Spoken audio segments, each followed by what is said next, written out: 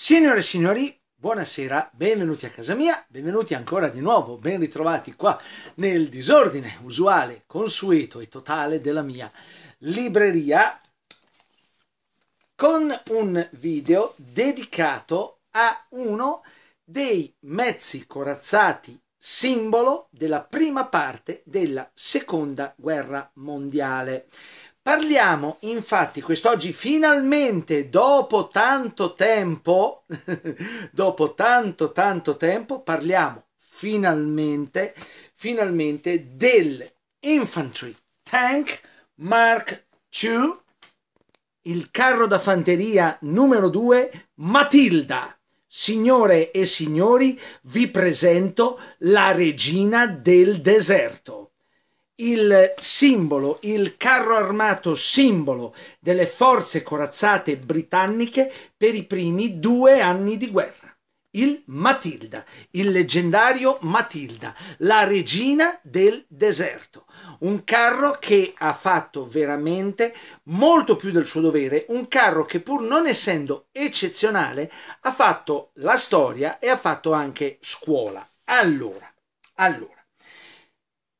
La fonte che uso come riferimento è il secondo volume della seconda guerra mondiale di Arrigo Petacco, edizioni Curce, la scheda tecnica del Matilda. Allora, signori, il discorso è sempre il solito. Un libro, per quanto vecchio, per quanto datato, per quanto a volte anche superato, se riporta i dati tecnici di un mezzo meccanico, nella fattispecie lui, il Matildone, il bestione, eccolo qui, eh, quelli non cambiano di sicuro, come dico sempre. Quindi parliamo, quest, parliamo in questo video parliamo della regina del deserto, parliamo del Matilda, ok? E praticamente ehm, il discorso è questo qua. Eh, durante la seconda guerra mondiale e, ehm, il Regio Esercito Italiano usava come pezzo anticarro e di accompagnamento a livello di divisione il cannone da 47-32, un eccellente pezzo di accompagnamento per la fanteria che poteva essere usato sia in funzione anticarro che in funzione di accompagnamento per la fanteria. Era un progetto di origine austriaca, della Böhler per la precisione, era un, era, mh, mm, veniva soprannominato per la sua forma, veniva soprannominato l'elefantino, ok? E l'arma era molto, era eccellente per l'epoca e poteva perforare una corazza di 35 mm, di 35 mm a 700 metri. Nel 1940, essendo aumentata la protezione dei corazzati in servizio, le sue prestazioni non furono più all'altezza e eh, anche se ancora qualcosa poteva fare contro i carri nemici. Ma la sorpresa per i nostri artiglieri, ma mh, mm, mettiamola così, nel 1940 per i nostri artiglieri, per gli artiglieri che avevano i 47-32, che erano universalmente considerati tra i migliori pezzi anticarro dell'epoca, ha ragione perché l'elefantino era nei primi anni di guerra, diciamo nel 39-40, l'elefantino era indubbiamente uno dei migliori pezzi anticarro dell'epoca, dicevo, ehm, ci si può immaginare la sorpresa dei nostri soldati che per primi videro entrare in azione i nuovi carri inglesi Mark II in Africa settentrionale. Allora, sui Matilda, che eh, questo era il soprannome del Mark II, ehm, i proiettili anticarro italiani non avevano modo di far danno perché rimbalzavano letteralmente sulla poderosa corazza anteriore di ben 80 mm di spessore. Nel progettare questo mezzo, gli inglesi si erano rifatti ai concetti strategici della Prima Guerra Mondiale che prevedevano il carro totalmente asservito al fante e alla sua difesa. L'evoluzione della strategia sull'impiego dei corazzati dimostrerà in seguito che il binomio carro-fante va impiegato in senso diametralmente opposto.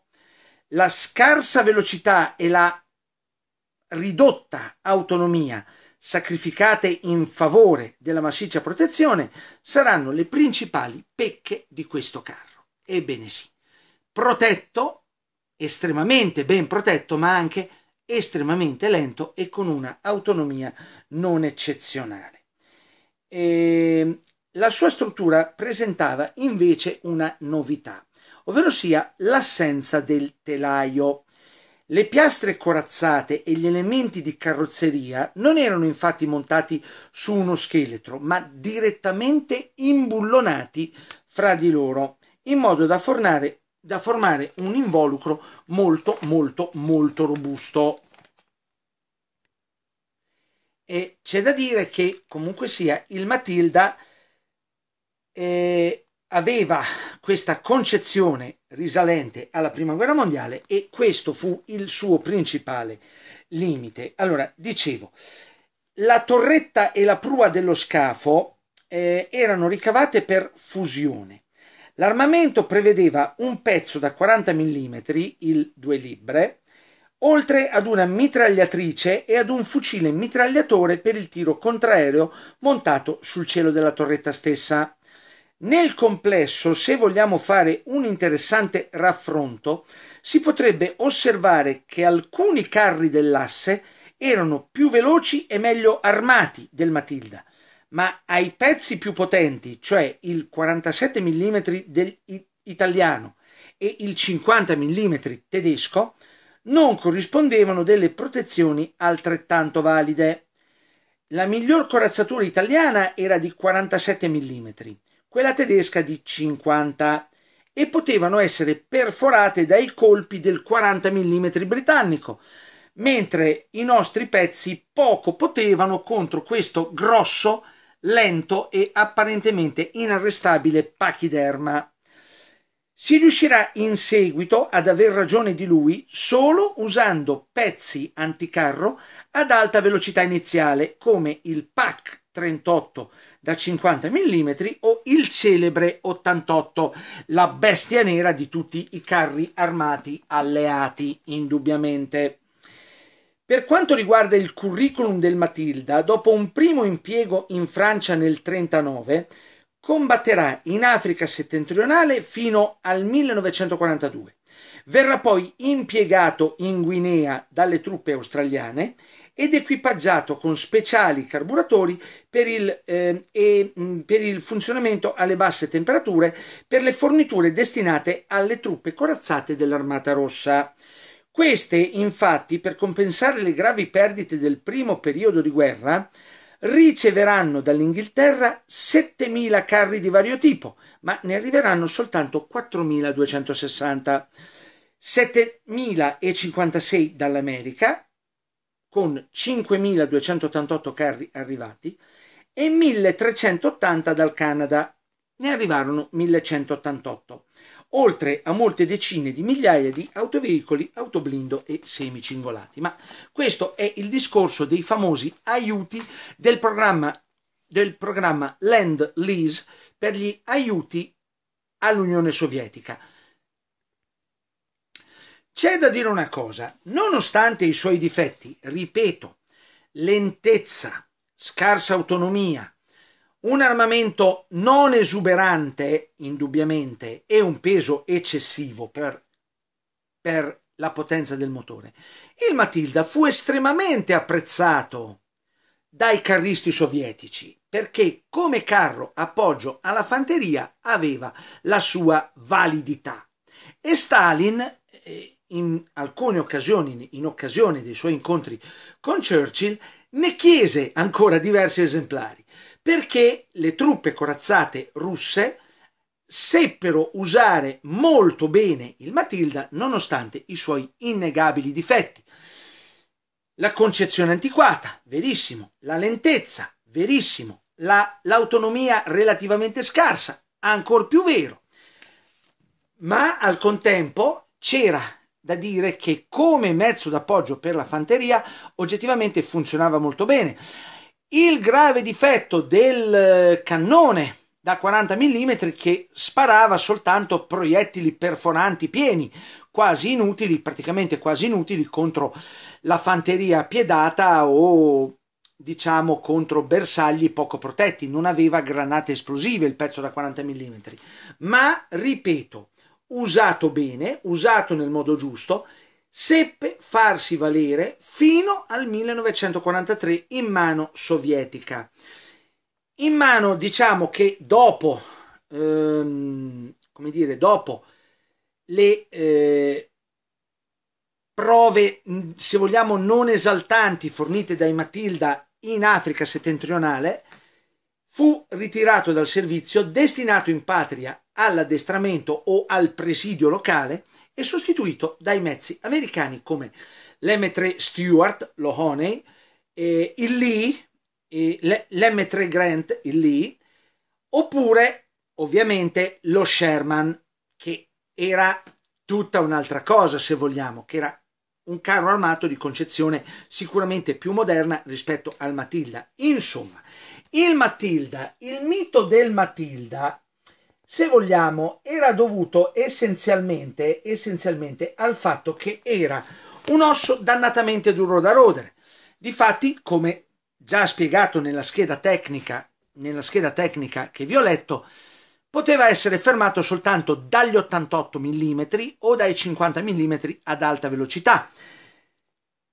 Ma eh, c'è da dire che era un carro eh, non esaltante in quanto a prestazioni, eh, perché, insomma, circa 27 tonnellate di peso, lungo 5,60 m, largo 2,60 m, alto 2,44 m con una protezione anteriore, con una corazzatura anteriore massima di 80 mm, mosso da due motori AEC a A183-184 da 87 cavalli ciascuno, con una velocità massima di 24 km orari, un'autonomia su strada di 250 km orari e fuori strada di 125, 4 uomini di equipaggio, il cannone da 40 mm, il 2 libre come armamento principale con 93 colpi in dotazione e una mitragliatrice da 7, una mitragliatrice Besa da 7,92 con, eh, con eh, 2000 con circa 3000 colpi e eh, 600 eh, colpi per la mitragliatrice antiaerea da 7 e 7 superava una trincea di 2,15 metri, un gradino di 61 cm e una, una pendenza del 24% e un guado di un metro esatto. Insomma, un carro armato, ripeto, sicuramente non esaltante per velocità e prestazioni, ma che era eh, rustico, efficiente, necessitava di una manutenzione accurata, ma quello era un difetto tipico di tutti i carri britannici dell'epoca. E ripeto, aveva il problema di essere armato solo con un 40 mm che non poteva certo controbattere i cannoni da 88. Inoltre, ripeto, c'era il problema che il cannone inglese da 40 mm sparava soltanto proiettili perforanti con una conseguente, se vogliamo, difficoltà a fornire l'adeguato e giusto supporto alle truppe che doveva proteggere. Però, ripeto, fece la sua onesta parte in guerra, si meritò il nome di regina del deserto, anche se oggettivamente nel deserto qualche problema lo ebbe perché faceva una fatica dannata a trascinarsi in condizioni estreme. Ricordiamoci che durante l'operazione Compass, alla fine dell'operazione Compass, gli inglesi erano rimasti, se no, con una decina di Matilde efficienti. Eh, sì, perché le condizioni operative del deserto avevano logorato pesantemente gli organi meccanici dei Matilda, gli organi meccanici di questo carro armato che logicamente si trovò in, in difficoltà perché come dire, costruito per operare nei teatri europei c'è una certa dif- differenza a dover fare la guerra nel deserto, ma seppe farsi valere e fu sconfitto soltanto in pratica della, dalle superiori prestazioni dei cannoni anticarro tedeschi. Gli italiani avevano ideato un sistema estremamente coraggioso per beccare il Matilda. Praticamente aspettavano che il Matilda con, o con l'elefantino o con l'obice sommeggiabile da 65-17, cosa facevano i nostri, i nostri artiglieri? Aspettavano che il Matilda, eh, diciamo, passasse la collina, mostrasse il ventre vulnerabile e lo sparavano centrando nel, insomma, centrandogli la pancia mentre superava il crinale delle dune o mostrava la pancia in determinate condizioni operative. I nostri artiglieri a questa maniera riuscirono a conseguire alcuni successi, ma basti dire una cosa, indubbiamente dimostra dimostra veramente le palle quadre dei nostri artiglieri, perché insomma signori ce ne vuole veramente di coraggio ad attuare una, una tattica simile. Per il resto il Matilda, ripeto, aveva i suoi pregi, aveva i suoi difetti, fece la sua onesta parte in guerra, fu battuto soltanto dagli, dalla maggiore efficienza degli anticarro britannici. Poi andò in meritata pensione, continuò a servire in Estremo Oriente perché eh, diciamo un carro così se era condannato a fare una brutta fine di fronte a Tigre, Panther o Panzer 4 col 75 mm lungo, contro i modesti carri armati giapponesi ancora poteva fare e dire la sua. Ripeto, un mezzo che aveva i suoi difetti, ripetiamo, scarsa potenza, eccessivo peso, armamento dotato solo di munizionamento perforante. Però per il resto era un carro armato onesto, un carro armato efficace, un carro armato che, usato bene, seppe fare il suo mestiere, seppe fare il suo dovere. Ripeto, persino i russi lo apprezzavano, ne apprezzavano le qualità, anche se oggettivamente anche loro avrebbero voluto un armamento più potente e soprattutto un armamento che non fosse limitato ai soli proiettili perforanti.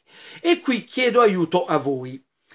Vado a memoria, se non sbaglio, alcuni Matilda furono modificati per, spara- per usare, per montare in torretta pezzi d'artiglieria sovietici. E qui chiedo aiuto voi. Cari signori, ne sapete niente? Io vado a memoria, ho letto qualche cosa, ma non mi vorrei sbagliare, anche perché si tratta di cose di tanti, tanti, tanti anni fa e quindi la memoria potrebbe, tra- potrebbe tradirmi. Sbaglio, cioè cercate di aiutarmi voi. I sovietici hanno montato o no dei loro pezzi di artiglieria sullo, sullo scafo nella torretta dei Matilda che gli erano stati forniti? La domanda è questa. Quindi aspetto le vostre risposte. Come sempre aspetto le vostre considerazioni. La regina del deserto si congeda da noi, ci saluta e vi dà arrivederci al mio prossimo video. E come sempre, cari signori, 操